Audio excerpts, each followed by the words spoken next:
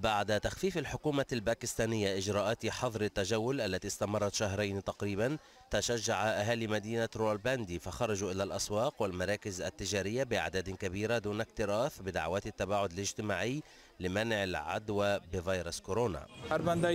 الجميع واعون بهذا الفيروس لكن كما تعلمون هذا هو الحدث الرئيسي الوحيد الذي نحتفل به. لذا علينا أن نتحمل بعض المخاطر لكننا نستخدم المطهرات والأقنعة.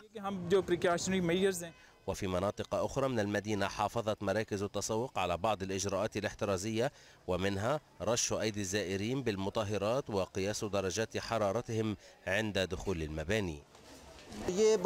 الحكومة حددت ساعات العمل من الصباح وحتى الخامسة مساء وهذا لا يكفي.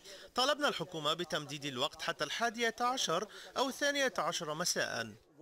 وخوفا من خطر الإصابة بالفيروس لجأت بعض العائلات إلى التسوق عبر الإنترنت. هذه المرة قررنا محاولة الاستفادة من التسوق عبر الإنترنت. بحثنا في مواقع مختلفة اشترينا بعض الأشياء وكانت التجربة جيدة.